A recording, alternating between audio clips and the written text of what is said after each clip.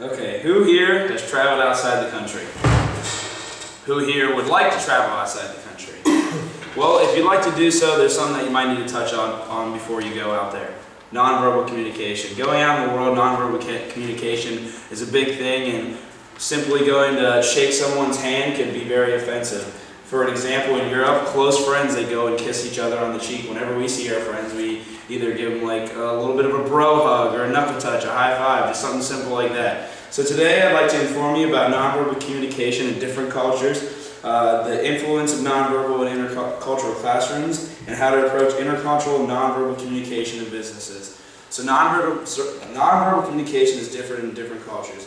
So according to the APA Handbook of Nonverbal Communication written by David Matsumoto, who has a doctorate in psychology, and Hyi Sung Hwang, who received her PhD from the Center of Psycholo Psychological Studies at the Graduate School of Human Behavior, culture has a strong and persuasive influence on nonverbal communication. So what that's really saying is that different uh, cultures do things differently.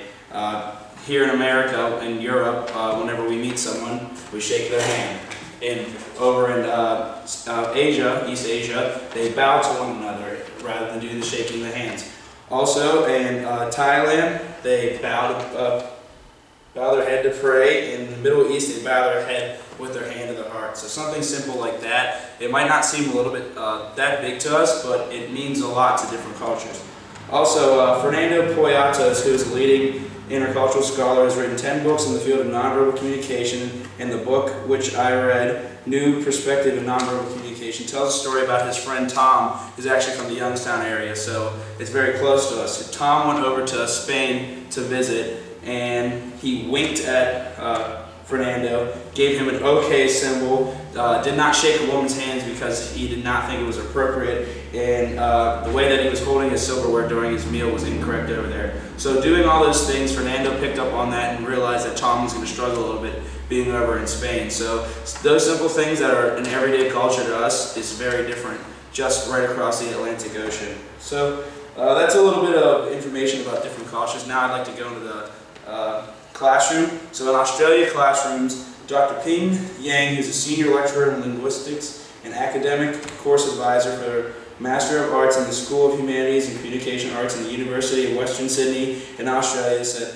that's important for all the faculty and staff and all their workers and their professors there to have good nonverbal communication skills because Australia is a very uh, well uh, traveled to country where a lot of students go and study abroad, so they need to have be touched up on their nonverbals because most of the students aren't going to be able to speak the native language there. So uh, simply knowing okay and yes and no in uh, several different languages non-verbally is very important. And they say that a nonverbal communication is used as much more than uh, verbal communication as it is. So as you can see, nonverbals, uh, and from study abroad and classroom perspective, is also very important.